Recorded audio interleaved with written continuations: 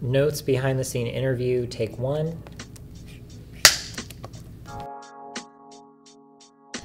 Great, it's been awesome. Our cast and our crew and everybody involved has been uh, it's been really game and, and done an amazing job and it's my first real production like this, so it's been a huge learning experience, but uh, it's been really great. I mean, I would probably I, I started writing it um, probably a year and a half ago.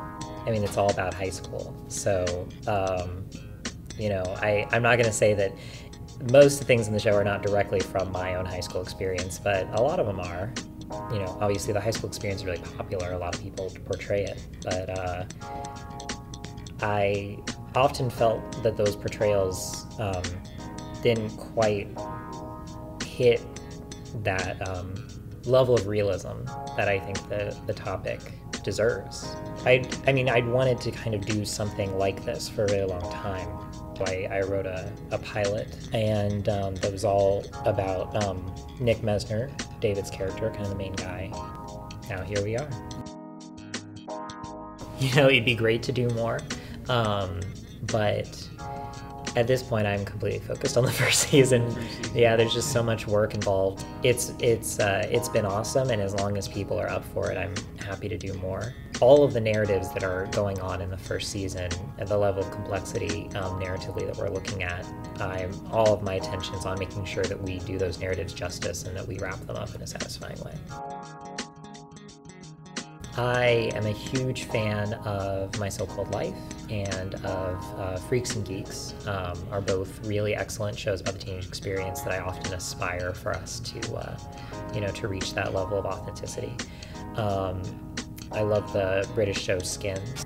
It really, in some ways, inspired somewhat the structure of the show, the way that it, it really um, commits to the point of view of a specific character each episode and um, immerses you in them the relationship between the plot lines and the play that they're doing um, was largely inspired by a Canadian show called Slings and Arrows that's really great, um, where each season's about a, Shakes- a different Shakespearean play, and the actors and the crew who do that play, how their lives mirror and inter- interact with the play that they're putting on itself.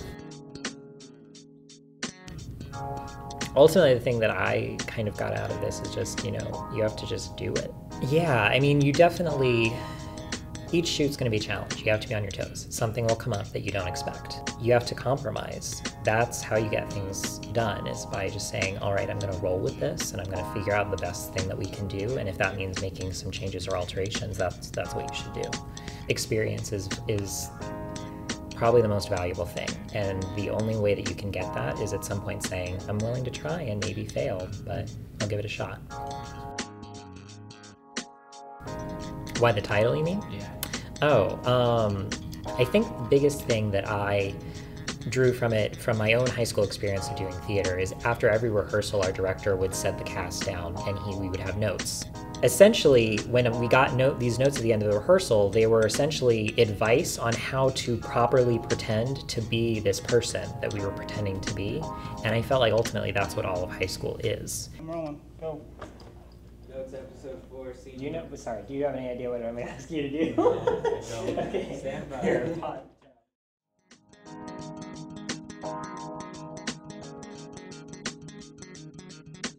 you.